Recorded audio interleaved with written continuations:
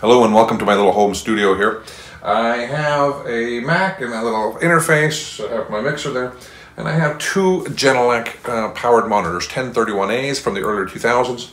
They're actually still really good speakers. That one was fixed a couple years ago. We're gonna fix that one today. Oh, that's heavy.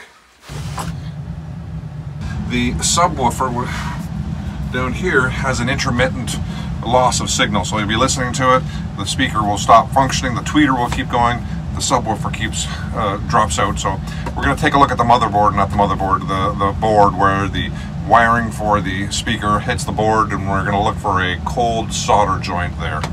Anyways, let's give her a try. When I wake up in the morning, drinking coffee on my balcony, trees are to the whistle of the wind.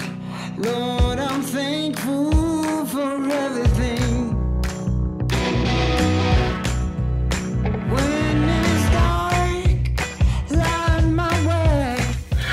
It's that one screw right there. is giving me some hard, hard time.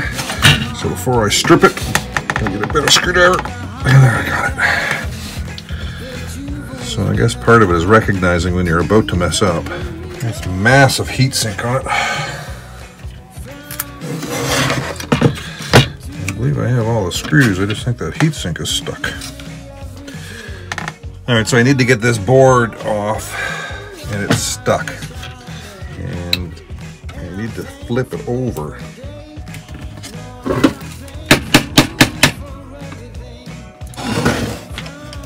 So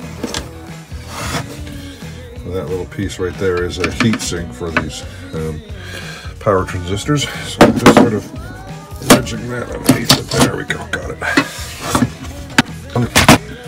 Now we're gonna go looking.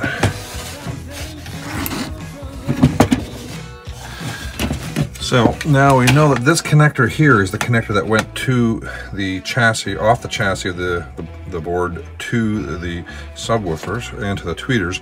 So we should focus our energy around here.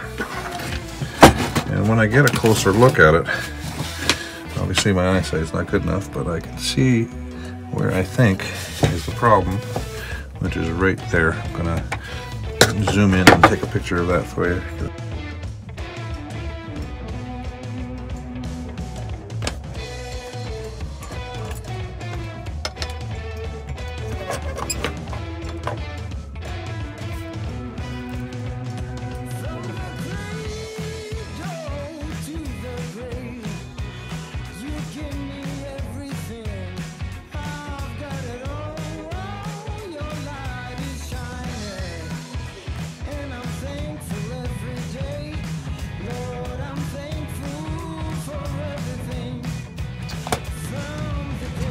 Board here, and I'm feeling pretty good about it. So I'm just gonna set it aside for a second.